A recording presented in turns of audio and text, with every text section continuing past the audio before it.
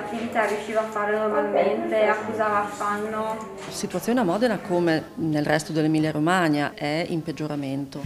Dov'è il problema? Allora, naturalmente si fanno delle ipotesi. Sicuramente focolari nelle scuole, perché eh, la scorsa settimana in provincia di Modena ne avevamo più di 160, quindi un numero, 160 focolai. focolai, quindi un numero veramente elevatissimo. Ai tempi della prima pandemia arrivavamo nei picchi massimi a 70-80. Quindi questo ci fa capire proprio che il target di queste, variabili, di queste varianti è la popolazione giovane e infantile, ma i giovani si contagiano di più, hanno sintomi tutto sommato per fortuna banali, però poi portano l'infezione in casa a quelli che sono i genitori, i nonni, gli anziani che continuano a essere le persone suscettibili di casi gravi e questo quindi non deve succedere. In questo momento stiamo riscontrando diversi giovani con delle saturazioni basse, delle febbri alte che prolungano per giorni, eh, debolezza eh, e quindi una sintomatologia comunque magari mh, non preoccupante ovviamente per la vita del paziente, però che eh, insomma mh, sperimentano proprio la malattia ecco, e che ci danno un po' da pensare perché comunque non, anche noi un attimo siamo spiazzati da questa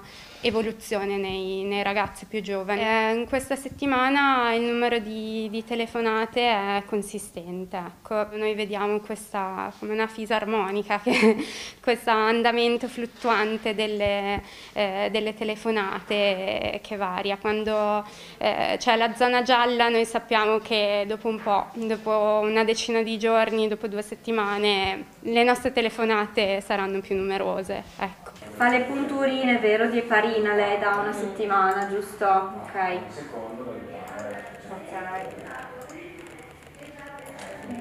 E oggi sono più chiamate rispetto al Sì. Tante di più? Com'era? Abbastanza, nel senso che sì, proviamo a farle tutte, ma sono tante. Quasi il doppio dei soliti.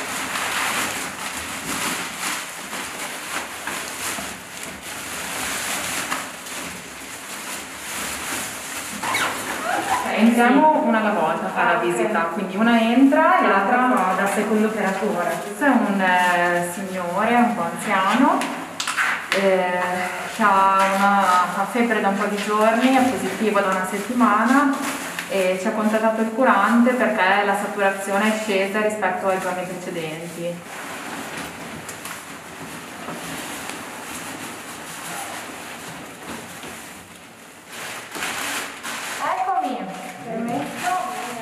Ci sono più casi di persone giovani, giovani con pochi fattori di rischio e questo è brutto, soprattutto insomma, visitare persone in queste condizioni e soprattutto non, non vedere mai una fine.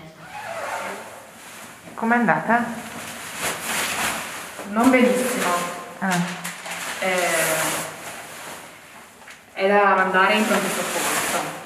Non è molto dell'idea lui, adesso mi confronto con la curante perché eh, alla fine è sempre lei che prende poi la decisione finale. Molti hanno, hanno paura proprio di- del ricovero e di peggiorare, cioè associano il ricovero, l'ospedale alla morte.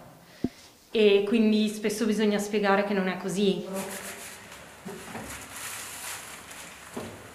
Cioè, quando non c'erano le USCA era veramente un, un accesso continuo, pronto soccorso, perché non c'era altra strada. Quanti hai tu?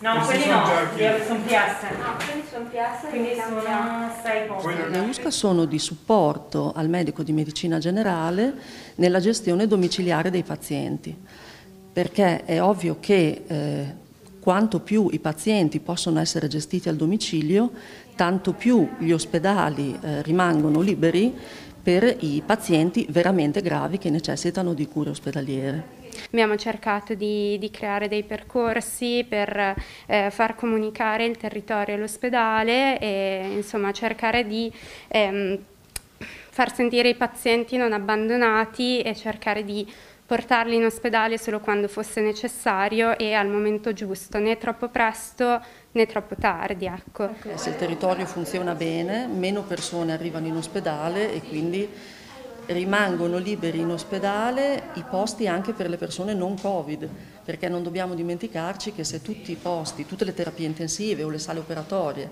vengono dedicate solo ai pazienti Covid, poi non c'è spazio per gli altri e questo sarebbe un problema.